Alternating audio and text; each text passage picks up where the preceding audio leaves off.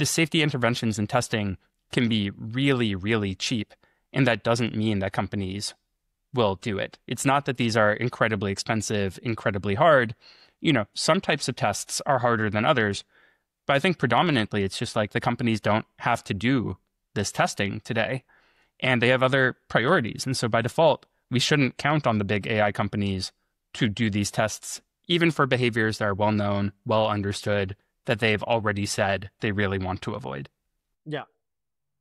Absurd. And again, it shows how, in practice, until we have a regulator in place or until we have laws in place, you know, even even things that cost 20 cents on a laptop are not going to be done for, you know, accidentally or negligence or what else.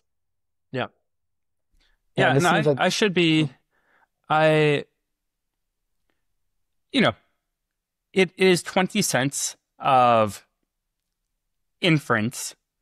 The real cost of something like this is the overhead of the safety process associated with it, right?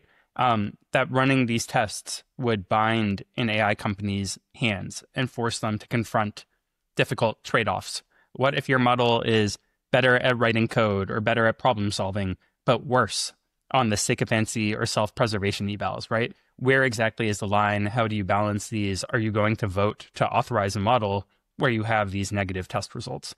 And so the cost isn't just about the amount of money needed to get the test results, it's really about how having such results in hand constrains the company's option set and forces them to reckon a bit more with having having this knowledge.